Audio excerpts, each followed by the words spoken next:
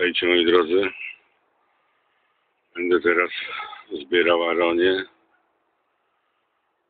Aronia to jest taki owoc drobny w gronach. No ta roślina została przywleczona z Ameryki Północnej. Pewnie nie jak Jaron ją opisał, stąd aronia. I sytuacja jest taka, że no jest to, jest to owoc jadalny, bardzo pożyteczny. Tylko, że na surowo to za bardzo nie da się go jeść, bo jest cierpki, cierpki, kwaśno cierpki. Po zjedzeniu kilku owoców już ma się dość go. Ale jest rewelacyjny na soki. Jak ktoś może, to może sobie cukru dodać, to wtedy już, już są bardzo pyszne. Ja nie dodaję cukru, bo mam cukrzycę, więc nie ma co przeginać pałki.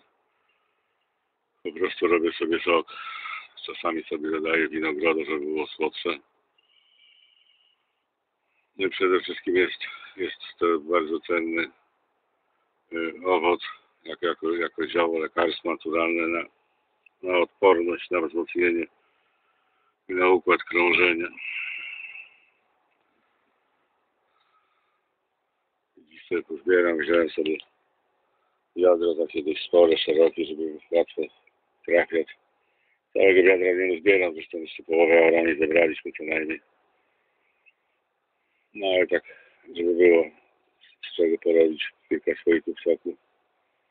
A w planie mam jeszcze zrobić taki miks, miks, że będą aronie, plus jeszcze owoc, który u mnie występuje też na, na działce.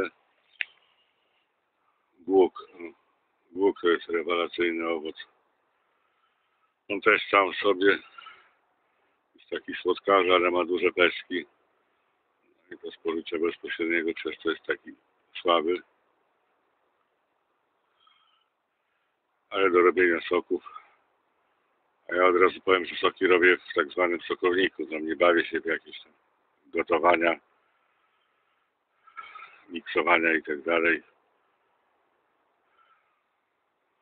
W innym filmiku kiedyś pokażę, jak ten sokownik działa, tą prosta, stara konstrukcja. No ale wracam do mojego podstawowego owocu, do, aronii. Zaczynam zbierać, tam zbieram, to pokażę ile uzbierałem. Krótki filmik. Zresztą mam owoce, żal, je zostawić, no. Nawet jak się zostają, to przy, przylatują jakieś ptaki, to zjadają. Ktoś na tym zawsze korzysta. No ale mam tego tyle, że aż nie zbierać. No dzisiaj tyle wyrwałem, jakieś dwie trzecie. I chyba tylko z tego będę pędził.